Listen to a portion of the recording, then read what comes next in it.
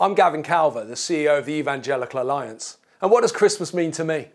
Well, for me, the amazing thing about Christmas is that the Saviour of the world comes onto the earth as a baby. The God who threw the stars into space, created the cosmos, becomes a person for you and me. And a baby in a manger who probably couldn't move his hands at the right time, couldn't get eye contact correctly. That is the King of the world. And that King becomes an adult who gives food to the hungry, health to the sick, life to the dead dies upon a cross, taking every wrong thing upon himself. You ever could do, ever would do, ever might do, that you could be liberated from your brokenness and know life in all its fullness now and forever. They threw him in a grave, but three days later the grave is empty because just as the cradle could not hold my king, nor could the grave. And this Jesus offers life to all. You see, to understand Christmas for me, you can't stay at the birth. You've got to go to the resurrection too. Christmas for me is an amazing time for families. But more than that, it's a celebration of the fact that God loved us all enough that He became a person on this earth, walking with hope, dying for you and me, and offering life to all. Don't miss that this Christmas. Well, good morning, everyone. It's uh, week four of Advent already. So, just a quick reminder of the Christmas services. This evening, from six o'clock, we will have our carol service, and you can see that on YouTube, Facebook, and our websites. And then on Christmas Eve at four o'clock, again on YouTube, Facebook, and our websites will be our Christingle service.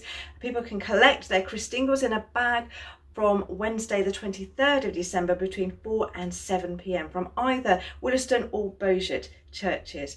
And then at five o'clock on Christmas Eve, weather depending, we will have uh, carols and hot chocolate. Uh, it's not a service, it's just a time to gather for half an hour in the churchyard at Wollaston. Five o'clock Christmas Eve, there'll be carols and hot chocolate. And then on Christmas Day, we will have a traditional communion service at 9.15 Easton Maudit. You'll need to book in for that and book in with Anne Leathers. And then at 10.30, we'll have an all-age uh, communion at Wollaston and you need to book in with Jean Rose for that. Okay, let's begin. Blessed are you, sovereign God of all. To you be praise and glory forever. In your tender compassion, the dawn from on high is breaking upon us to dispel the lingering shadows of night. As we look for your coming among us this day, open our eyes to behold your presence and strengthen our hands to do your will, that the world may rejoice and give you praise. Amen when the Lord comes. He will bring to light the things now hidden in darkness and will disclose the purposes of the heart. Therefore, in the light of Christ, let us confess our sins. Lord God, we have sinned against you, we have done evil in your sight. We are sorry and repent. Have mercy on us according to your love Wash away our wrongdoing and cleanse us from our sin. Renew a right spirit within us and restore us to the joy of your salvation through Jesus Christ our Lord. Amen. So let everything be said and done in the name of Lord Jesus, giving thanks to God through Jesus Christ. Sing psalms, hymns, and sacred songs. So let us sing to God with thankful hearts. Open our lips, Lord and we shall praise your name. So we sing our first carol, Hark the Herald.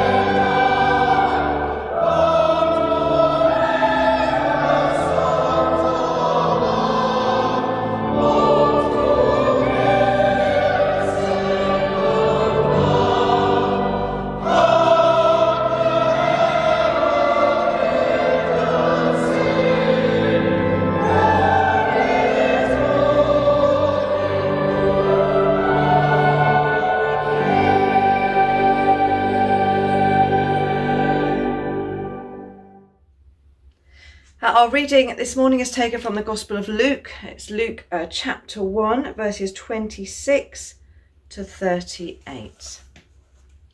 In the sixth month, the angel Gabriel was sent by God to a town in Galilee called Nazareth, to a virgin engaged to a man whose name was Joseph of the house of David. The virgin's name was Mary. And he came to her and said, Greetings, favoured one, the Lord is with you. But she was much perplexed by his words and pondered what sort of greeting this might be. The angel said to her, Do not be afraid, Mary, for you have found favour with God, and now you will conceive in your womb and bear a son, and you will name him Jesus. He will be great and will be called the Son of the Most High, and the Lord God will give to him the throne of his ancestor David. He will reign over the house of Jacob for ever, and of his kingdom there will be no end. Mary said to the angel, How can this be, since I am a virgin? The angel said to her, The Holy Spirit will come upon you, and the power of the Most High will overshadow you. Therefore, the child to be born will be holy. He will be called Son of God. And now, your relative Elizabeth, in her old age, has also conceived a son, and this is the sixth month for her who was said to be barren. For nothing will be impossible with God. Then Mary said, here I am, the servant of the Lord. Let it be with me according to your word. Then the angel departed from her. This is the word of the Lord. Thanks be to God. Well, our reading tells the announcement of the upcoming birth of Jesus, God being born into our world to live amongst us. The posh word is the incarnation. And this morning I want to ask the question why did God choose to do it that way and not some other way? You know, before I was a Christian, one of my biggest objections to Christianity was I, I used to say, why didn't God just come and uh, show himself in this dramatic, obvious way? Then, of course, I'd believe in him. Well, the incarnation uh, answers that question and uh, a whole lot of others as well. See, the incarnation uh, reveals much about uh, God's plan, who He is, His purposes, and uh, how He wants to relate to us. And so, in the time I have, I want to just look at um, two reasons as to why God chose to be born into our world and live amongst us. And the first reason is this that Jesus came as a demonstration. Louise and I, during this pandemic, have um, got into MasterChef, been watching MasterChef. And for those of you who know me, you may find that a bit surprising because I have no idea how to cook anything. But if you know that program, you'll know that they bring in certain expert chefs who demonstrate a dish, and then the contestants have to go away and uh, go away and try and replicate that dish.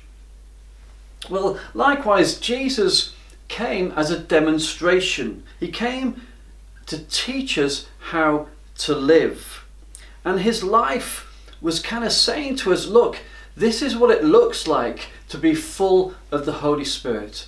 This is what it looks like to live a life not contaminated by sin.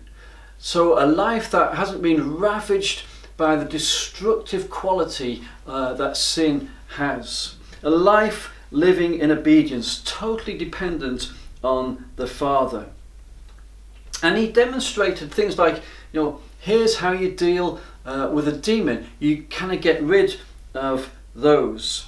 He demonstrated the things that God cares about, the purposes and heart of God. How, as his followers, we're to do forgiveness, how to handle our money, how to relate to uh, authority. You know, if you have a if you have to make a, a big decision, then you, you know you spend a whole night in prayer. That's what Jesus did. He demonstrated uh, how to deal with friends who regularly uh, squabbled and wanted to be the most important. He demonstrated how to deal with those who betray you, who um, have a lack of loyalty towards you. And supremely, of course, he demonstrated what it looks like uh, to love people, not just your closest friends, but those who are on the margins of society. So, Jesus, the first reason is that Jesus was born into this world as a demonstration. Secondly, he came as revelation. See, how on earth are people with tiny brains like yours and I, mine, uh, how are we ever going to really understand God? You know, this unlimited God who is without beginning or end, uh, he's trying to make himself known to the likes of you and me. You know, one of the great claims of Christianity is that God has now become knowable. So, how is he going to do that? It's not just that he's bigger than us, he's of a different kind, he's, uh, of, he's a different quality of being, if you like. And so, one of the reasons he became flesh was so he could reveal himself more fully to us. So when we look at Jesus, we see an exact representation of God, as it says in Hebrews 1.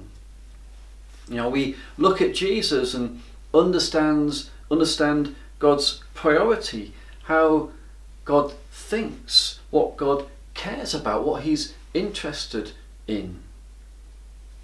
Philip Yancey, in his book, The Jesus I Never Knew, talks about how keeping fish taught him about the incarnation. And he writes this I learned about incarnation when I kept a saltwater aquarium. Management of a marine aquarium, I discovered, is no easy task. I had to run a portable chemical laboratory to monitor the nitrate levels and the ammonia content. I pumped in vitamins and antibiotics and sulfa drugs and enough enzymes to make a rock grow. I filtered the water through glass fibres and charcoal and exposed it to ultraviolet light. You'd think, in view of all the energy expended on their behalf, that my fish would at least be grateful. Not so. Every time my shadow loomed above the tank, they dived for cover for the into the nearest shell. They showed me one emotion only fear. Although I opened the lid and dropped in food on a regular schedule three times a day, they responded to each visit as a sure sign of my designs to torture them. I could not convince them of my true concern. To my fish, I was deity. I was too large for them, my actions too incomprehensible. My acts of mercy they saw as cruelty. My attempts at healing they viewed as destruction to change their perceptions, their perception, I began to see would require a form of incarnation. I would have to become a fish and speak to them in a language they could understand. And he goes on to write, a human being becoming a fish is nothing to compare to God becoming a baby. Yet according to the Gospels, that is what happened at Bethlehem. The God who created matter took shape within it as an artist become a spot on a painting or a playwright a character in, uh, with his own play. God wrote a story only using real characters on the pages of real history. The Word became flesh. That's a great illustration of the incarnation.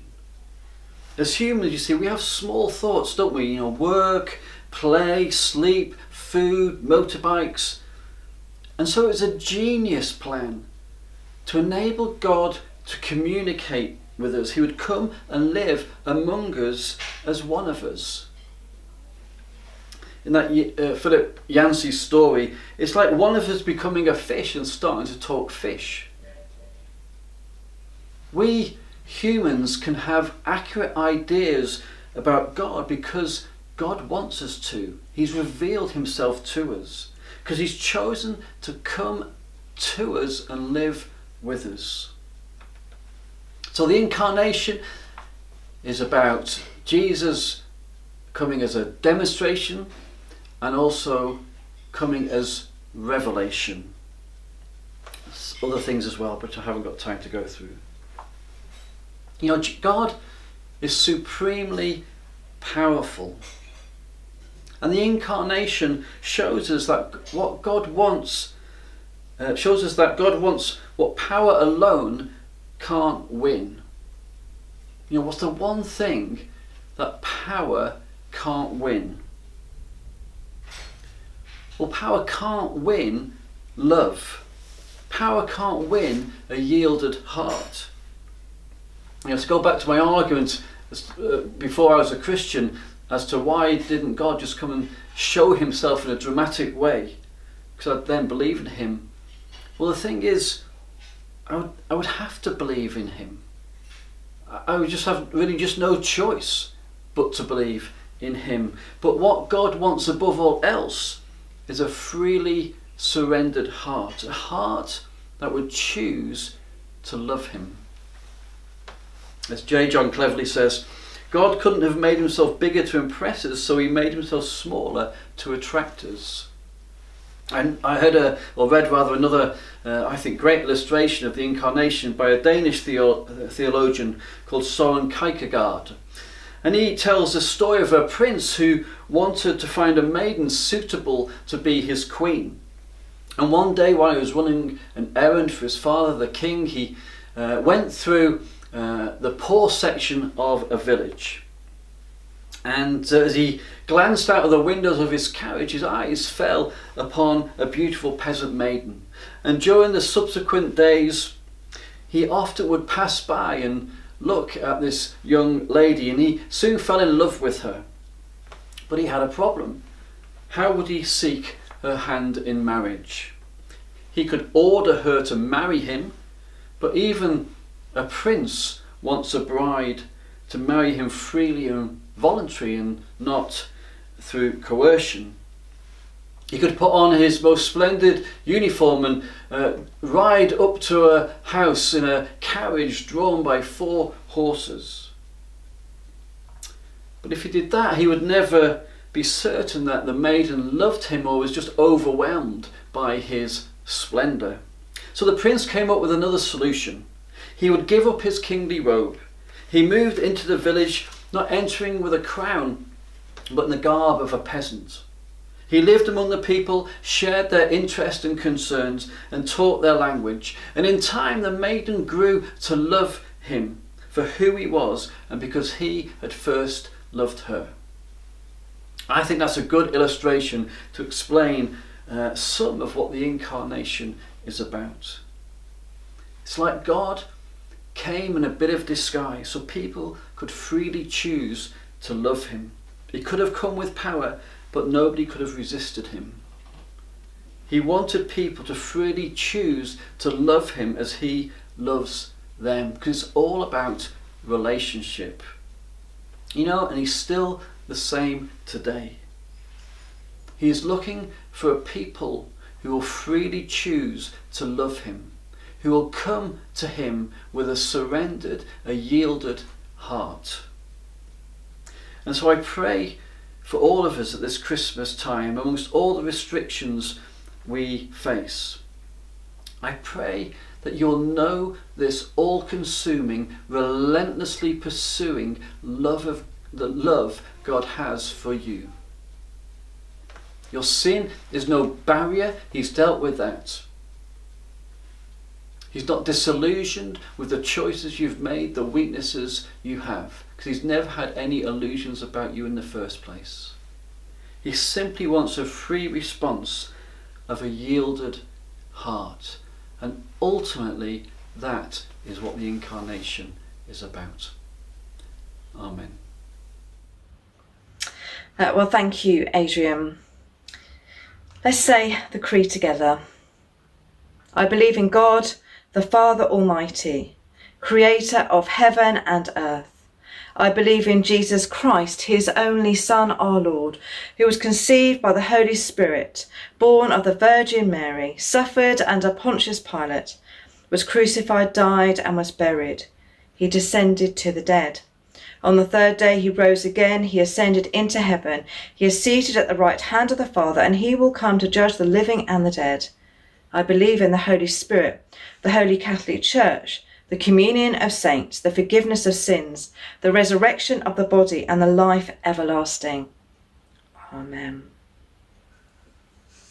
So let's take some time to pray for our nation, our community, and for our families.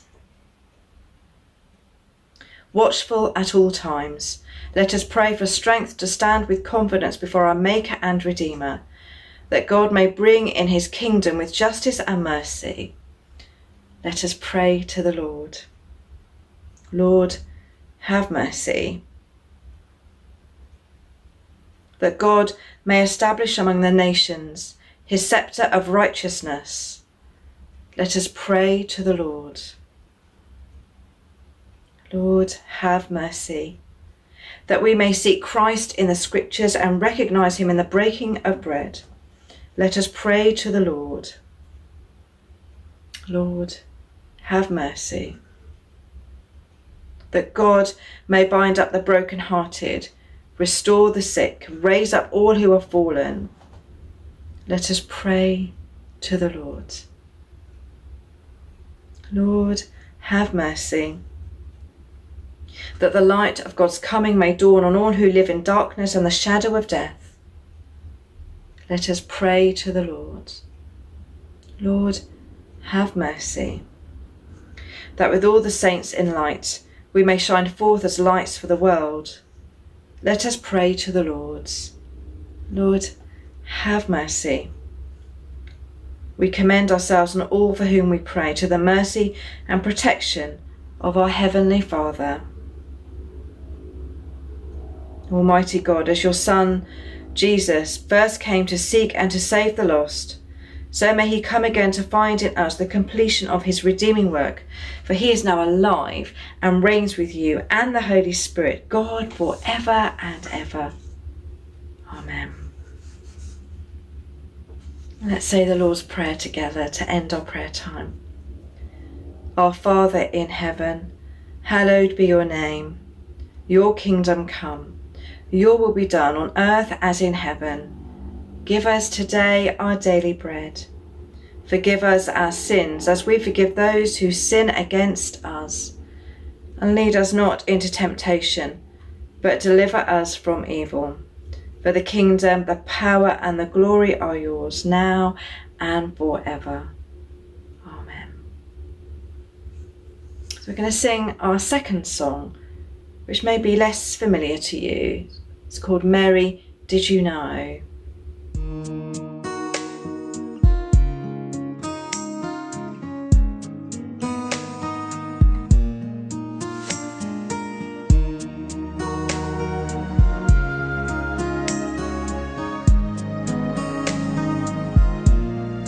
Mary, did you know that your baby boy would one day walk on water?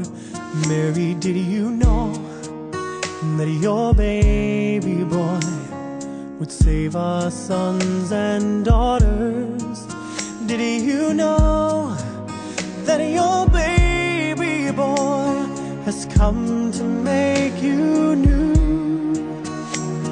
This child that you delivered will soon deliver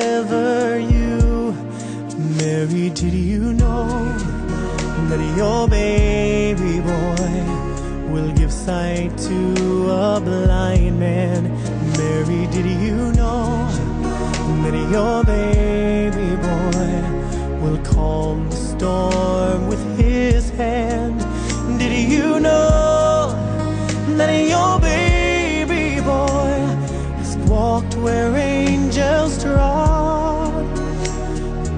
kiss your little baby, you kiss the face of God. Oh, Mary,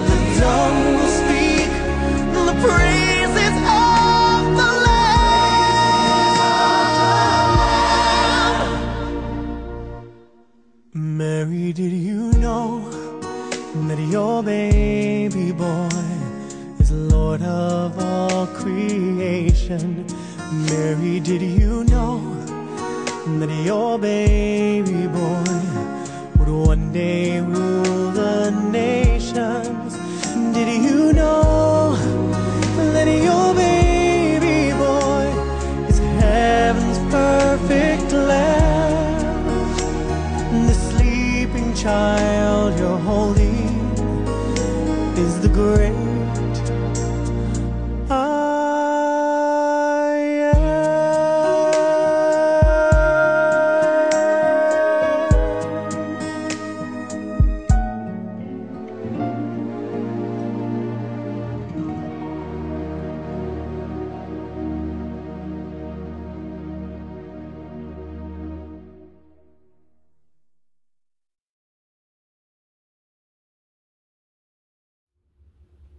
So, uh, as we come to the end of our service, thank you uh, for being with us. Please stay. Um, at the end, there will be some notices. And we this week we have a very special rendition, a Bozeat rendition of the 12 days of Christmas. So, Christ, the Sun of Righteousness, shine upon you, scatter the darkness from before your path, and make you ready to meet him when he comes in glory. And the blessing of God Almighty, the Father, the Son, and the Holy Spirit be among you and remain with you always. Amen.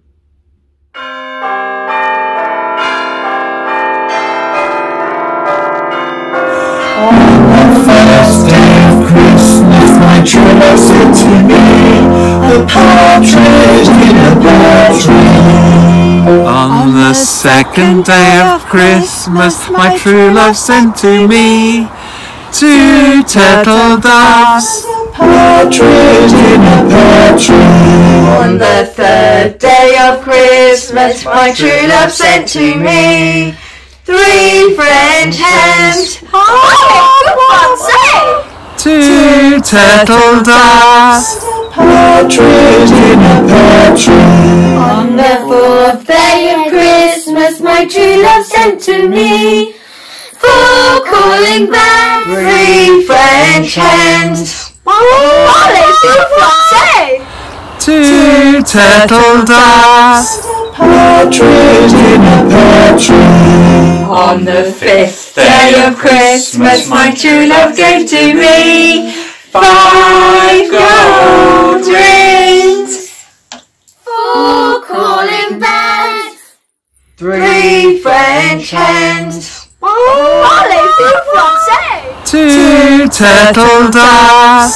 Partridge in a pear tree. On the sixth day of Christmas, my true love sent to me six geese are laying, five gold rings,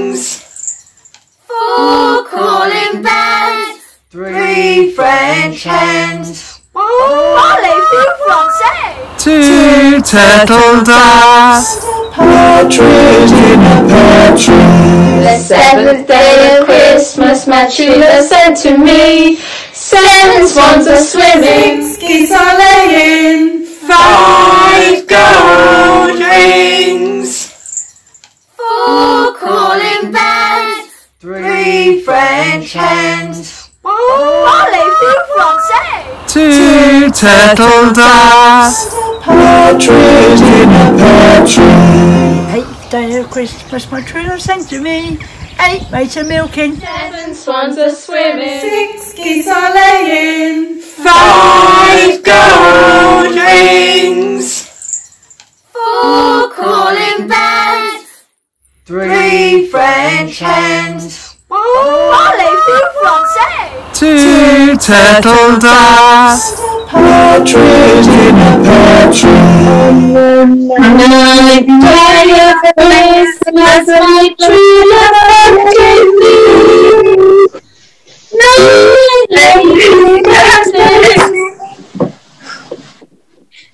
Eight mates of milking. Seven swans are swimming. Six geese are laying, five gold rings, Four calling back Three French hens. Parlez vous français? Two turtle doves. Partridge in a pear tree. Tenth day of Christmas, my true love sent to me. Ten lords are leaping.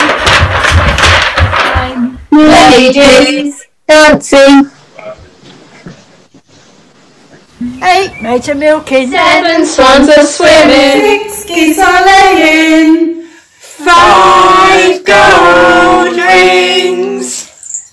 Four calling bells. Three French hens. Parlez vous français? Two turtle doves. Partridge in a pear tree. Eleventh Christmas, my true love sent to me. Eleven pipers piping. Lords are leaping. Ladies dancing. Eight maids are milking. Seven swans are swimming. Six geese are laying. Five